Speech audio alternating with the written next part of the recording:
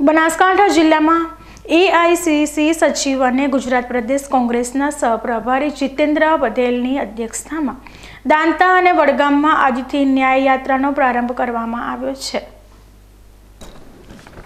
બનાસકાંઠા જિલ્લામાં કોરોનાથી મૃત્યુ પામેલા તમામ મૃતકોના પરિવારજનોને સહાય આપવા તેમજ કોરોનામાં ખાનગી હોસ્પિટલોમાં સારવાર માટે જે ખર્ચ લોકોએ કર્યો છે તે તમામ સરકાર દ્વારા પરત ચૂકવવામાં આવે અને કોરોના દરમિયાન લોકોના થયેલા અવસાનના સાચા આંકડા જે સરકાર દ્વારા છુપાવવામાં આવી રહ્યા છે તે લોકો સમક્ષ મૂકવામાં આવે તે માટે આજથી બનાસકાંઠા જિલ્લા ન્યાય યાત્રાનો પ્રારંભ કરાયો છે. જિલ્લા કોંગ્રેસ સમિતિ દ્વારા કોરોના મહામારી દરમિયાન જે પણ લોકોએ પોતાના સ્વજનો ગુમાવ્યા હોય અને તેઓના કોરોનાને લઈને અવસાન થયા હોય તેવા લોકોના ઘરે જઈ તેઓની તકલીફો સાંભળી અને સરકાર તરફથી મૃતકોના પરિવારજનોને રૂપિયા ચાર લાખની સહાય મળે તે અંગેના ફોર્મ કોંગ્રેસ સમિતિ દ્વારા ભરવાનો પ્રારંભ કરાયો છે. આજે દાંતા અને વડગામના ગામડાઓમાં કોંગ્રેસ દ્વારા નીકળેલી ન્યાયયાત્રામાં એસઆઈસીસી સચિવ અને ગુજરાત પ્રદેશ કોંગ્રેસના સહપ્રભારી જીતેન્દ્ર બધેલ તેમજ જિલ્લા કોંગ્રેસના અધ્યક્ષ દિનેશ ગઢવી સહિત અનેક કોંગ્રેસના નેતાઓ અને કાર્યકર્તાઓ ઉપસ્થિત રહ્યા હતા અને સરકાર સામે રોષ ઠાલવ્યો હતો. સમગ્ર ગુજરાતમાં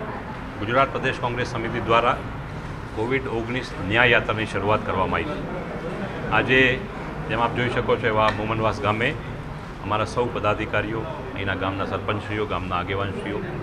ઉપસ્થિત થઈ અહીંયા જે લોકો કોરોનાના ભોગ બન્યા છે, એ લોકોને શ્રદ્ધાસુમન શ્રદ્ધાંજલિ પાઠવી છે. સાથોસાથ દોઢ વર્ષના આ ગેરવહીવટ, અણઘડ વહીવટના સામે લોકો જે જજુમ્યા છે લોકોને જે હાલાકી પડી છે, જે હાલત થઈ છે, એમને ન્યાયનું, ન્યાયની પ્રક્રિયા ઝડપથી થાય એ માટે અમારી ન્યાય યાત્રા છે. ચાર લાખ રૂપિયાનું વળતર કોરોના મૃતકને મળવું જોઈએ અમારો પહેલો મુદ્દો છે. બીજો મુદ્દો છે રહેમરાય નોકરી, જ્યાં સરકારી કર્મચારી ગુજરી ગયા હોય તો રહેમરાય નોકરી મળવી જોઈએ. ત્રીજો મુદ્દો છે કે જ્યાં ખાનગી દવાખાનાઓમાં મને કમને લોકોએ જવું પડ્યું કેમ કે તમારી સરકારી આરોગ્ય સેવા પડી ભાગી હતી, તો એમને ખાનગી હોસ્પિટલના બિલનું વળતર થવું જોઈએ. અને ચોથો મુદ્દો છે કે આ દોઢ વર્ષના તમારા વહીવટનો એક ન્યાયિક અને નિષ્પક્ષ તપાસ થવી જોઈએ. આ જ મુદ્દાઓ ચારે મુદ્દાઓ લઈ અમે લોકો વચ્ચે જઈએ છીએ, લોકો પાસેથી માહિતી ભેગી કરીએ છીએ અને બધા આખું દેશ જાણે છે કે કોરોનાના આંકડા છુપાવવાની સરકારે